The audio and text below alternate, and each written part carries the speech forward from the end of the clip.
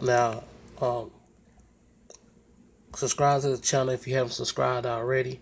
Comment, I will respond to you. If you have any suggestions, good or bad, let me know. I will listen to them. I will respond back. But this is Support This TV Sports, and make sure you support your local MMA. Welcome to Support This TV Sports. I'm aka Benz. Thanks for tuning in.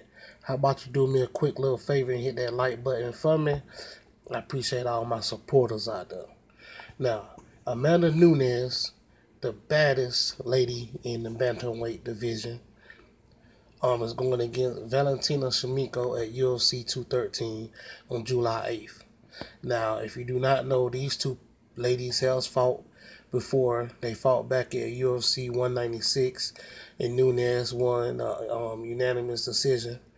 You know, um, now Nunes after beating her, Nunes went on to fight Miesha Tate. You know, beat her with a rear naked choke in the first round. Then went on ahead and knocked out Ronda Rousey in the first round. And um, Valentina Shevchenko went on to beat um, Holly Holm and after she beat Holly Holm, she beat Julianna Pena. Now, I think this right here is going to be a great rematch. Now, honestly, I think Amanda Nunes is going to take this fight. Amanda Nunes is just a great fighter.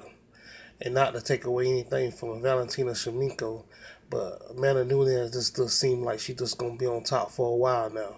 I thought the same thing with Holly Holm, but Holly Holm only was hot for that moment when she kicked and knocked out Ronda Rousey. But I think um, Amanda Nunes is going to be around for a while on top. That's just my own personal opinion.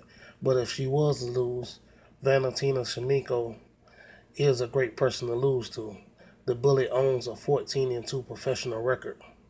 You know, and um, Amanda Nunes is 14 and 4. So their records is almost identical. But it's like when I watch Amanda Nunes fight, she just so powerful. She just so quick. You know, she calling herself the Lioness, which is the perfect name.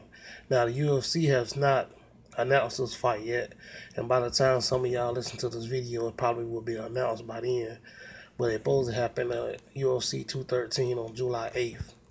So, I'm telling y'all right now, support this TV sports is predicting that Amanda Nunes will win this fight. I'm not going to say by knockout. I'm not going to say by submission. But I predict that Amanda Nunes will win this fight.